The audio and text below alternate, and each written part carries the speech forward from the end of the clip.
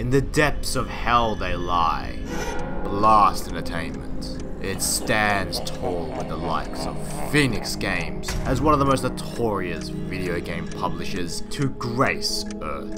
They didn't publish as many games as the shit covered bird, but each of their releases certainly were a bomb.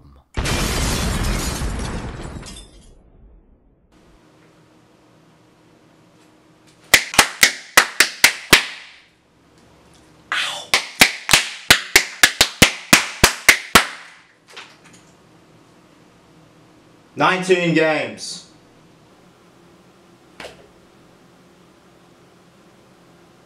Nineteen games by these motherfuckers. 19 games, more like 19 months to make a video. Yep, this was fucking worth it. All that mess. That was just that's just that was just that was completely worth it. Jesus fucking Christ, what am I even doing with this video already? It's a lot of sewage to get through. Alright? That's a lot. So we're not gonna do all of them because I ain't gonna go through that. Alright? So we'll go through five. Just five. Yeah? First off is Casper and the Ghostly Trio with its Jizz font. Good start. And there's apparently 11 levels to get through, and I'll, uh, let's, uh, let's go. Oh god. That's, uh, that's a good amount of text to hide the fact you didn't even make an opening cinematic to tell the goddamn story. So, Casper's three uncles, the ghostly trio, have captured Casper's best friend, Wendy the Good Little Witch. They need her to cast spells on a special potion they are making, which will give them the strength and power to rule Ghostland. Wait, the ghostly uncles are evil now? How the hell are they even threatening? Look at them. They're smaller than Casper. Okay, okay, I've wasted enough time. Let's just get into the first level.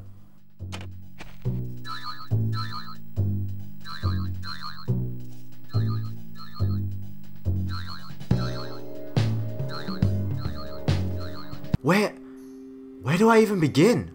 Just, just look at Casper himself. He doesn't even look like a damn ghost.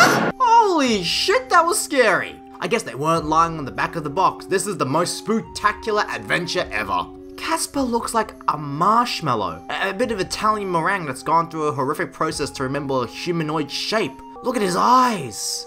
Just, okay, okay, so we're stuck outside the courtyard and unable to enter the house to tackle the big three ghosts. So we need to find four keys to open one door. Ah yes, those famous quad-locked front doors that require four separate keys. I mean, not that that matters, because, you know, Casper's a ghost. Have you... Have you ever heard of a ghost that can't go through objects, through walls? What is this bullshit? I mean, I know that a game without any objects to collide into wouldn't exactly be a great game, but I mean, it's so obvious. Let's talk about the combat real quick, shall we? It's spam square, that's it. That's, that's all you need to know. There's a shitty lock-on system and all you gotta do is keep hitting the square button to make sure those little Hadokens hit the mark. And look how many times it takes to kill one enemy.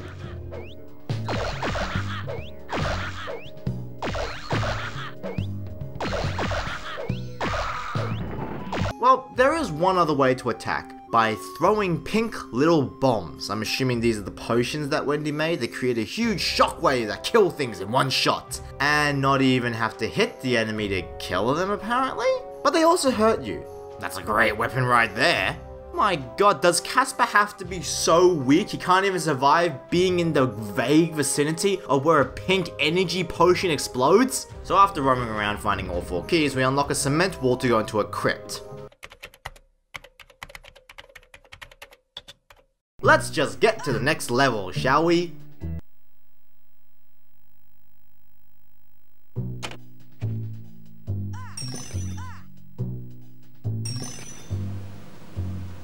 What the fuck? You saw that, right?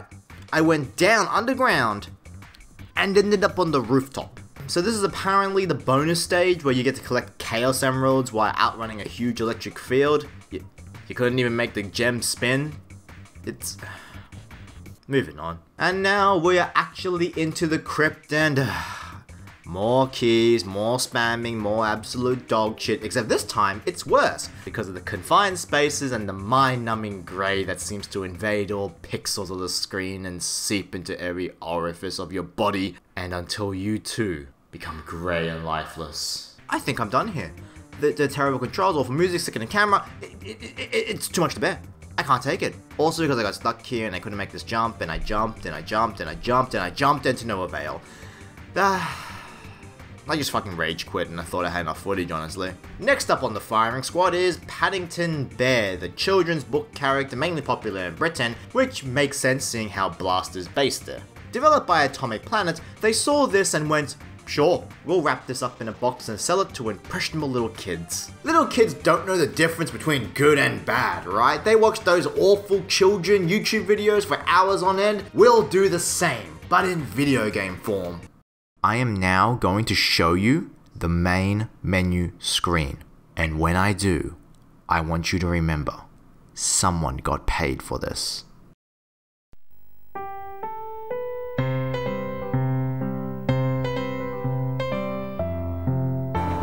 No justice in the world. Did anyone try?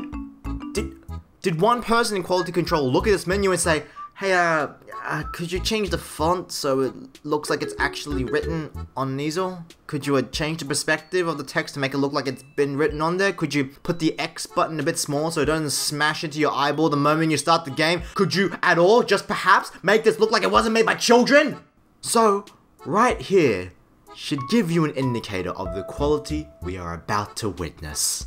First level is pretty basic, bathroom is flooded, gotta do some simple platforming while watching the absolute stiffest animation I've ever seen for a video game character, and that's it. It's actually unbelievable how little there is to work with. It's the same stuff in the second minigame as well, but instead of avoiding water in a flooded bathroom, you are now avoiding police officers in a train station. Probably because you're harboring a bomb or something. That's the only reason I can think of to avoid police officers when you're lost. Next stage, search for three articles of clothing while avoiding salesmen. Should be easy enough, walk around the store until you find the clothes. 20 minutes later. I can't find them. But where are they? What? Are you fucking kidding me? You gotta go and check each rack and search the damn clothes until you by chance you happen to find them? What kid is gonna get enjoyment out of that? Hey kids, do you like waiting around in your video game? Well boy gee howdy do I have the game for you. Wait for spinning objects to slowly, painfully slide into view so you can just put them over there and over there. By far the best thing about this scenario in particular is that every so often a Vegemite cheesy scroll spins by and it makes Paddington Bear jet across the room with fire coming out of his ass. Next is taking photos. That's it.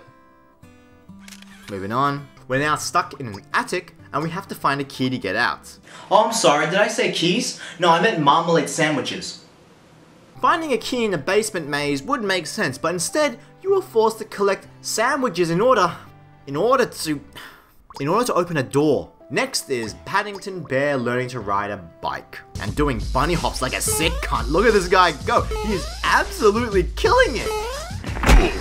Next, we have to collect objects such as plates, presents, and foods back from the back of hedgehogs to gain more slices of bread. But I noticed something in this one. There's no needed number of items to be returned, so I just stood still I was done. You see this footage right here? I was done. I gave up. I gave up completely. It broke me. It was 1 a.m. and I was tired and said enough of is enough. And what was I rewarded with? Congratulations. Also, that's that's the end of the game. Done. You think there's a joke here? No? No, that's it. Alright, we're done with that one. On to the next piece of crap. Wacky Races Mad Motors, you know. I would say that, oh, maybe there's some hope for this, but no. No. I, I think just playing those two just took all the emotion out of me. Nothing can phase me anymore. So you know what? You know what, Wacky Races Mad Motors? Hit me. Hit me with your goddamn bush shot. Come on! I can take anything you give me.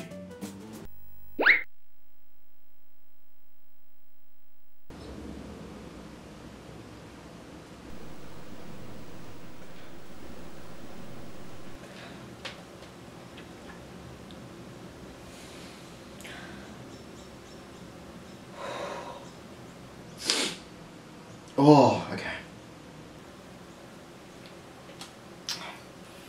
I'm so sorry, Richard. I truly am. Based on Hanna-Barbera's cartoon series that aired in the late 60s, they thought this would be a perfect adaptation for a racing game. Okay, there's a clear flaw in logic here. I I don't know anyone who's heard of Wacky Races unless they're a serious cartoon fan. And secondly, nearly 40 fucking years after the show ended, But I won't lie, after watching a couple of episodes, it had potential. I mean, you get to race in cool cars and even a fucking tank. That's gotta be cool, right? So I guess we gotta go in with our heads high optimistic. It's not good. Where to begin? Where to start? It's like looking at a Where's Waldo picture. Where, where do I begin? Ah, the controls. Oh my god, the controls are so damn sensitive. Your, your turning circle is so small, as small as a wristwatch. It's insane. Like here, I'm heading towards this really tight turn at over 120 kilometers an hour, and I still hit the inner coping. Now, secondly, this is a kart racer. Where's the items? Where's the wackiness? It's a series called Wacky Races. You would think that maybe some over the top items would be implemented to match the theme, but no, this is some Rascal Racers shit. Nothing but a booster, which is admittedly mildly cool. You can see the tank actually turning around and it shoots its cannon for speed, which for this company is a godsend of detailing. Third, third is just the physics. Look, look at this. Look at this bullshit.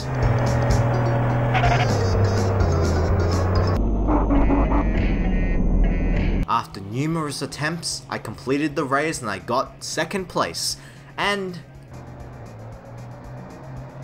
Screw this. Next.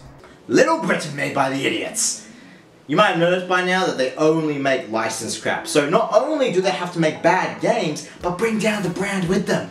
For those unaware of the outside world, so Americans, Little Britain was a comedy sketch show that basically made fun of certain stereotypes in British culture. Shock and gross out humor with many, many, many unflattering costumes, repeated catchphrase, and crude jokes. It's it hasn't aged well. It was kind of like Jackass, where your parents said, no, uh, uh, you can't watch it, it's not good for you, which really made you want to watch it more, really. So you would watch it late at night when your parents were asleep or when they weren't home, and really, you laugh at anything. It was that funny because you're a stupid kid. So that was what the game was trying to ride on, its popularity. This show was so popular, it rode the wave in the UK and it eventually spawned off spin-off after spin-off in America and I think that's it. But the important thing here is that it was popular and Blast Entertainment knew that. So it rode the wave with it. A year after the show ended. Made by Revolution Software Studios, published by the shitbomb, we have a collection of 7 minigames, which star the titular characters from the show. So really, this has less content than Paddington Bear, at least that one had 9. But, to its credit, they are all different, so there is more variety.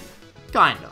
First minigame stars Vicky Pollard, a high school girl who thinks she's all that, but she really ain't. Yeah, looking at this rendered model pretty much tells you what the show is like. So here we are in the first minigame and almost instantly, I can see that the ground is a completely flat texture. There's no curb, and that annoys me a lot more than it should.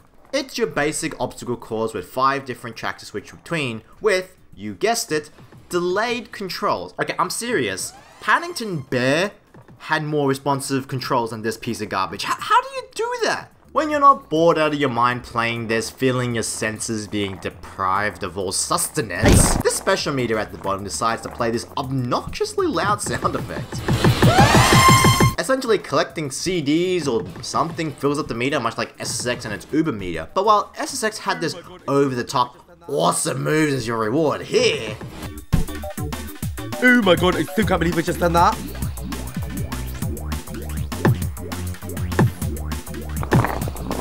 Okay. Cool. That was nice. But you know what the sad thing about this is? I can actually imagine someone getting good at this. There's just barely enough game here to warrant getting good at. Some person out there had the PS2 demo disc and Little Britain. That's it. So obviously, he would just play the Ratchet and Clank demo for hours. But when he got bored of that, he got increasingly better at this one minigame, for he had nothing else to play. With the delayed controls, the course layouts, the combos, the tricks, I can honestly imagine someone putting in the time to max out that score. And it scares me. It really scares me. The next minigame stars Lou and Andy. The object of this minigame is to have Andy jump into the pool while doing as many tricks as he can while Lou is distracted. Yeah, Andy pretends to be wheelchair bound to get what he wants. That's that's the whole premise of that. The idea is pretty basic. Just dive as many times as you can. How can you screw that up? You spam X to walk. You have to mash X to make Lou walk from diving board to diving board for 3 minutes, including the swimming. On top of the spamming of the X button to select which board you want to jump off, you have to press, get this, L1. Why L1? What what is with this publisher making you press unintuitive buttons to do basic commands? Why not the X button? Oh wait, you're spamming the fucking thing. Next game stars Marjorie Dawes, the leader of the Fat Fighters, while also being the most passive aggressive to fatties you'll ever see. And it's Pac-Man. It's zoomed in, ugly, no color, fucked controls, Pac-Man. How do you fuck up both a recognizable show and Pac-Man? I. Also, who eats cookies like that? To take a small break here, after every minigame clear, you get a small clip from the show as to be expected. Like after playing the Vicky minigame, you get a Vicky clip. After playing as Andy and Lou, you get to see a skit of them. And after playing the Marjorie minigame, you get an Andy and Lou clip. What? In fact, out of the 7 of the 10 clips I was bothered to unlock, there is one each of Daffy, Emily, two of Vicky, and three of Andy and Lou. Playing favorites much? Next is Letty. She hates frogs. That's her thing. Here she is, squashing frogs. Whack-a-mole. Whack a frog. You wanna know how this game feels? There you go. Next is a soccer minigame. You kick a ball across a field while avoiding waddling kids to score three goals. Without a doubt, this is the ugliest game I've seen yet. Just, just look at this. Look at it. The best model here by far is the main character, Emily himself, or herself. It's, it's terrible. And whenever you score a goal. Next is based on Maggie. Now to summarize the character of Maggie, she's an astute old lady who is absolutely racist. Anything touched by a minority, she rejects. And when I mean she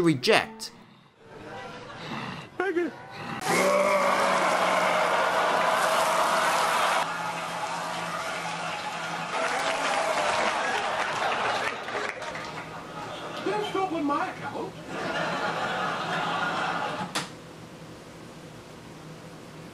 Yep, that's um, that's comedy, I guess. So with such ripe characters as this to base a minigame off of, what could it possibly be about? It's Tetris.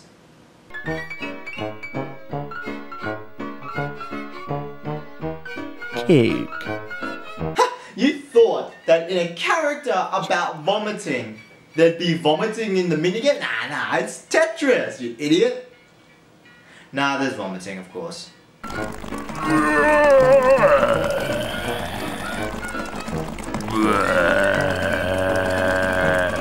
I'm at such a loss here. I'm just gonna put a clip from OhhhMarmalade's video about this onto here instead.